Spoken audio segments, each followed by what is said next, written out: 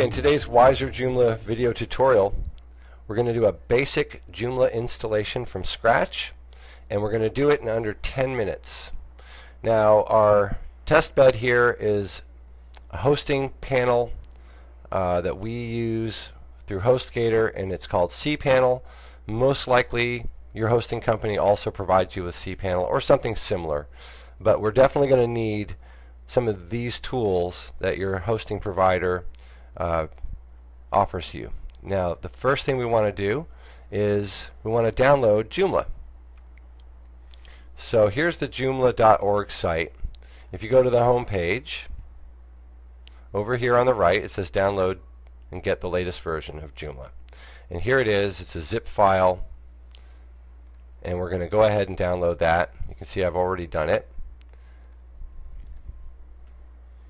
So once we've downloaded our installation file, we come back to our cPanel and we're going to go to the File Manager. Once we're here, we want to click into Public HTML and make sure that it's all cleaned up. And there it is. So there's really no files here that are going to bother us. A couple of directories an htaccess file. If that's there, you can leave it. And so what we want to do now is go to the upload button in our file manager. And we want to browse to that zip file that we just downloaded, the Joomla 1.5.20, and we want to upload it as a zip file. Now while we're waiting for that, let's go back to the control panel and let's scroll down until you see MySQL database we need to create a database for our Joomla installation. So we'll call it ABC1, create database. Now we need to create a user. So if you scroll down, new user, we'll call it XYZ1. And most control panels offer a password generator and you definitely want to use that. This will keep things safe for you or from hackers. And of course, we always want to store this information as we go along. So we can just type password here.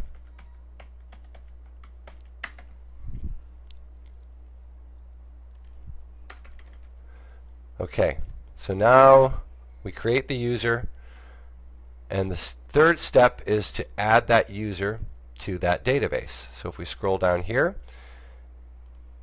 user XYZ1 and database ABC1 and we click add. Now here's the nice thing about cPanel is it does, a, it does my work for me for my log. It lists the username in full and the database name in full so I'm going to copy this go back to my log, paste it in, and I'm going to put these in order. Okay, so now we've got a username, a password, and a database name. And here, we want to give this user all privileges for that database. So our database is now finished, and if we come over here, you'll see our zip file which is six over six and a half megabytes. That's been uploaded. So now I'm going to go back to my file manager. And I need to hit refresh.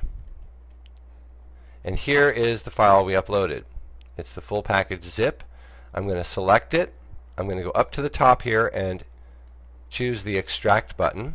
Make sure I'm extracting it to the correct directory, which is public HTML, and perform the extraction. And there it is. So you can see it inflated all of these files that we need to install Joomla. Now we're going to go back to our URL where we've set up all these files and we're going to hit refresh. And the first page we're going to come to is select your language, English in my case.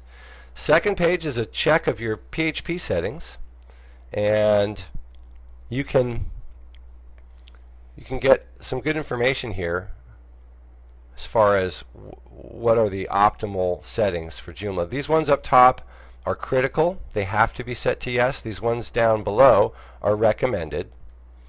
Uh, and I seem to have green all the way up and down, which is great.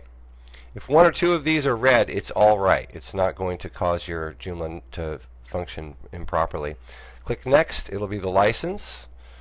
Joomla, as you know, is open source and free to use. So you don't even have to agree. You just click Next. Okay, here's the SQL. So we're going to put in localhost as the host. That's 90% of the time that's the case. And now we'll go back to our log file. We're going to grab our username, carefully copying it and not going beyond the letters because we don't want any white spaces. Username, password,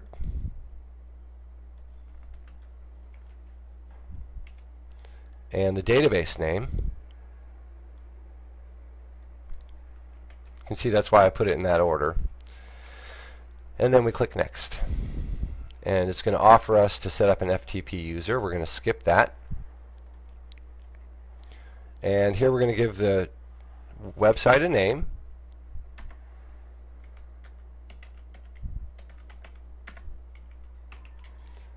All of these can be changed later, but you do need to put in your email. This will be the email of the administrator.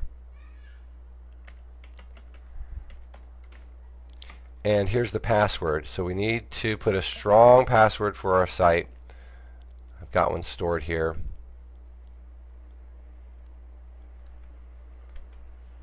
and I'm going to make sure that we know in my log file that the username will be admin and the password is there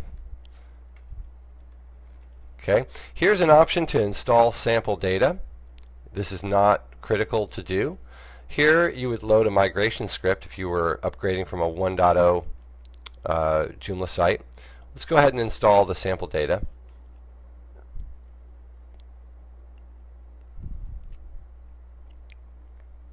And that's installed successfully. We click Next and we're done. There's one more step which is a safety precaution. We want to go back to our file manager and we want to find our the directory called installation and we want to get rid of that. So just delete it altogether. Now we, if we come back here we're going to go to the admin panel. Up here you can go straight to the site or to the administration panel. And we know the username is admin.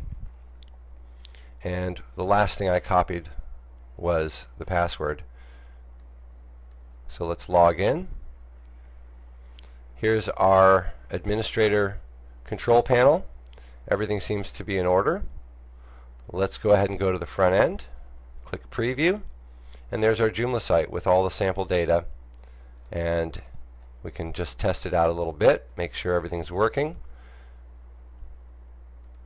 So there is a Joomla installation in under 10 minutes. Now we're ready to get to work.